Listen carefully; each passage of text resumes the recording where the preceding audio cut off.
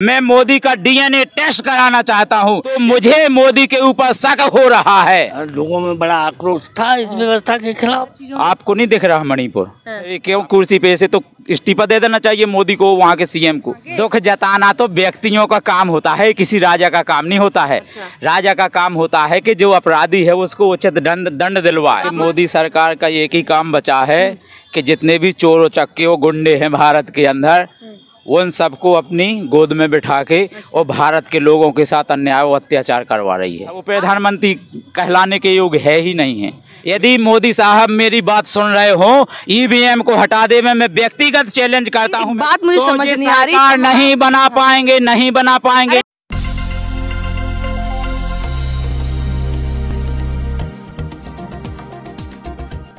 नमस्कार आप सभी का स्वागत है जनित आवाज़ देश की आवाज़ बुलंद आवाज़। और मैं साक्षी शाह इस समय मौजूद हूँ राजधानी दिल्ली के रामलीला मैदान में। हमारा कहने का मतलब ये है कि मोदी सरकार का एक ही काम बचा है कि जितने भी चोर चक्के और गुंडे हैं भारत के अंदर उन सबको अपनी गोद में बिठा के और भारत के लोगों के साथ अन्याय और अत्याचार करवा रही है। आपको ऐसा क्यों लगता है न्याय अन्याय अत्याचार करा रही है? वो तो कहीं ना कहीं इंसाफ करवा रही है हर चीज़ों आपको नहीं दिख रहा मणिपुर हाँ। आपको भी तो देखना चाहिए दुख जताया उन्होंने। दुख बात करी है लोगों से वहाँ के। दुख जताना तो व्यक्तियों का काम होता है किसी राजा का काम नहीं होता है। अच्छा। राजा का काम होता है कि जो अपराधी है उसको उचित दंड दंड दिलवाए। आप मानते हैं देश के प्रधानमंत्री को राजा? मैं नहीं मानता हूँ उसको राजा। अच्छा। मैं तो उसको कुछ भी नहीं मानता हूँ देश के प्रधान वो प्रधानमंत्री कहलाने के योग्य है ही नहीं है। मैं एक चीज़ और भी बता दूँ। प्रधानमंत्री मोदी ने भारत में जब से प्रधानमंत्री मोदी बताता कौन सा एजेंडा पूरा किया है? आप मोदी से जाके बेटी बचाओ बेटी पढ़ाओ किया है उन्होंने नहीं किया है? बेटी बचाओ बेटी पढ़ाओ कहाँ बच रही बेटी? देखिए बेटियों के मनीषा वाल्मीकि है एक और ये यहाँ ये मणिपुर में देख रहे हैं आप बेटियों के साथ क्या दुराचार हो रहा है? वहाँ मणिपुर के सीएम ने भी कहा है कि सौ से ज़्यादा महिला जो है वो ऐसी पीड़ित हो चुकी हैं। अब बताइए सौ से ज़्यादा पीड़ित हो चुकी हैं तो फिर क्यों कुर्सी पे से तो इस्तीफा दे देना चाहिए मोदी को वहाँ के सीएम को? यहाँ तो कुर्सी पे रहने का इनका कोई दावत ही नहीं बनता है नेतृत्व नहीं बनता है रहने का। पर इस देश की जनता ने ही तो उनको जिता के नौ साल बेमिसाल किया है। अरे जनता ने उस पर इसलिए विश्वास किया था वो बोलता था बड़े बड़े जुमले की बात है कि दो करोड़ रोज़गार दूँगा भारत और विदेशों से काला धन लाऊँगा हर गरीब के खाते में पंद्रह पंद्रह लाख रुपए डालूँगा। अब मोदी सरकार से मैं पूछना चाहता हूँ कि वो काला राशन दे तो रही है पाँच हज़ार भी लोगों के पास जा रहे खाते में। कौन दे रहा है राशन? मुफ़्त राशन नहीं मिल रहा आपको? मुफ़्त राशन मिल रहा है। आपको नहीं मिल रहा? अब राशन की भी आप समझ लीजिए प्रक्रिया जो मोदी सरकार ने उस समय कहा था कि किसानों की याद दोगुनी करेंगे। बेचारे किसान इतनी मेहनत मजदूरी करके अपना अनाज पैदा करके अन्न उगाते हैं और इसके बाद उन्हीं की जो उगाया हुआ अन्न है उसको किस तरीके से बिचौलियों के माध्यम से सरकार खरीदवाती है। ये सरकार उनके दस रुपए के अनाज को पाँच रुपए में खरीदती है। व्यापारियों के, अपने व्यापारियों के माध्यम से, अडानी जैसे, अंबानी जैसे लोगों के माध्यम से वो खरीद के स्ट्रोक करती है और फिर उन्हीं को वो नाज देती है। अब बताइए जो हमारा नाज आपने दस रुपए किलो लिया है, नाज। आपने। वही नाज यदि हमें मतलब आपने दस पाँच ग्राम दे दिया है तो उसमें क्या फ़र्क क्या फ़र्क पड़ता है साहब? बताइए। कोई अर्थ नहीं, कोई मानी नहीं रखता है। मोदी का काम था, देश के प्रधानमंत्री का काम होता है। जो जब देश में प्रधानमंत्री बने थे, उनने कहा था कि हम दो करोड़ रोज़गार देंगे हर वर्ष। उसमें फेल हुए हैं मोदी, शिक्षा के क्षेत्र में फेल हुए हैं मोदी, और है सो सुरक्षा के क्षेत्र में फेल हुए हैं मोदी। और गरीब 2024 में जो लोकसभा चुनाव हो रहे हैं दिल्ली के ही अशोक होटल में वो कहीं ना कहीं एनडीए की बैठक चल रही है। तमाम लोग जो है मौजूद है विपक्षी दलों ने इंडिया नाम दिया है। हाँ। आप क्या आपको लगता है कि जो जिस तरह से जो पक्ष सत्ता है कहीं ना कहीं पूरे विश्वास के साथ कहते हैं कि 2024 में भाजपा सरकार आएगी? मैं मोदी साहब को व्यक्तिगत चैलेंज करता हूँ। यदि मोदी साहब मेरी बात सुन रहे हो ईवीएम को हटा दे में मैं व्यक्तिगत चैलेंज करता हूँ मैं घुमा हूँ देश भर में। अरे एक बात मुझे तो समझ नहीं आ रही। सरकार नहीं बना पाएँगे नहीं बना पाएँगे नहीं तमाम लोग। इससे पहले भी तो ईवीएम पे देते थे एकदम से ईवीएम पे क्यों आ रहा है निशाना? ईवीएम पे निशाना इसलिए आ रहा है कि जब 2004 में सरकार बनी कांग्रेस की उस समय ईवीएम की कोई बात नहीं हुई। ईवीएम उस समय आई थी। नहीं नहीं जब 2009 में सरकार बनी कांग्रेस की तो भाजपा के एक नेता ने सुब्रमण्यम नाम, स्वामी नाम के नेता ने 2010-11 में एक सुप्रीम कोर्ट में याचिका दर्ज की कि है सो ईवीएम में घोटाला होता है और इसकी मैं जाँच करवाना चाहता हूँ। सुप्रीम कोर्ट ने उस पर एक्शन लिया और उस जाँच को 2013 में आदेश हुआ। तो सुप्रीम कोर्ट ने कहा है कि हाँ मशीनों में घोटाला होता है वो हंड्रेड परसेंट होता है। इसलिए उसमें उन्होंने कहा था कि प्रत्येक मशीनों में प्रत्येक मशीनों में वीवीपैट लगना चाहिए जिसके माध्यम से चुनाव होंगे तब पता चलेगा कि जिसके अच्छा एक बात बताइए देश के प्रधानमंत्री कहते हैं कि हम सभी समाज जितने भी जाति धर्म के लोग हैं सभी को समाज में एकजुट और एक साथ के लेकर चलते हैं। आपको लगता है कि जितने भी समाज ये S C S T OBC minority जितने भी लोग हैं उन सबको एक साथ लेके चल रहे हैं? मैं एक चीज़ और आपको बता दूँ अभी मोदी अमेरिका गए थे। अमेरिका में उन्होंने कहा भी जब लोगों के कहने पहले तो वो प्रेस कॉन्फ्रेंस नहीं करना चाहते थे उनके अधिकारियों ने मना भी किया लेकिन फिर ज़बरदस्ती करनी पड़ी। तब उन्होंने कहा था कि हमारे डीएनए में है। क्या कहा था डीएनए में है?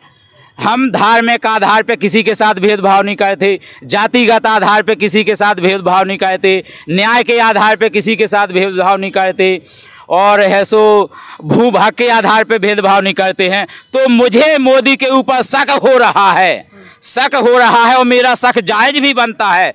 मैं मोदी का डीएनए टेस्ट कराना चाहता हूँ। यदि मोदी का खुद डीएनए वो किसी समाज में से आते हैं। ओबीसी समाज में से नहीं हो सकता है। वो इसीलिए तो मैं कहता हूँ कि जो बात उन्होंने कही थी कि मेरे डीएनए में है, समाज की सेवा, सुरक्षा और भूभाग के आधार पर भेद और जाति जाति और धर्म के आधार पर मैं भेद नहीं करता हूँ। और भेद हो रहा है, इसलिए यदि भेद हो रहा है तो प्रधानमंत्री मोदी के डीएनए पे मुझे शक हो रहा है। यदि डीएनए उसका जाँच हो गई मोदी की तो साफ़ हो जाएगा कि ये बहुजन समाज का आदमी है कि विदेशी ब्राह्मणों का आए हुई आर्यों का आर्यों के डीएनए इससे मिलजुल खाता है। जो मुद्दे थे जनगणना को लेकर एकत्रित होना आपको क्या लगता है जो चीज़ें ये लोग लेकर आए हैं कि जाग, लोगों को जागृत करना वो कार्य सब सही से चल रहा है?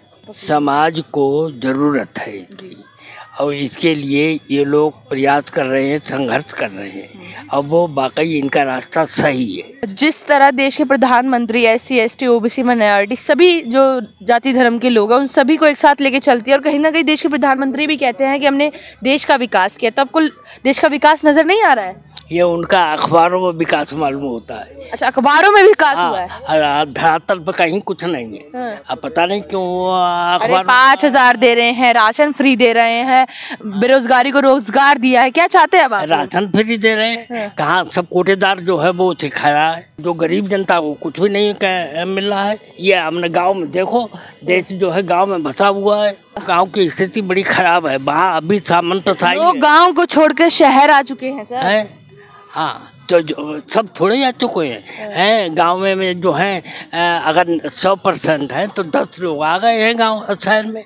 कोई सब थोड़ी आ गए। शिक्षा जो है वो बहुत ही गिरी हुई है कि बच्चों को किताबें तक कोई नहीं मिल रही हैं आप लोग जैसे कि बहुजन जितने भी लोग समाज हैं कहीं ना कहीं लोगों को एकत्रित होना बहुत ज़रूरी है जागृत होना बहुत ज़रूरी है लोगों को पता ही नहीं है।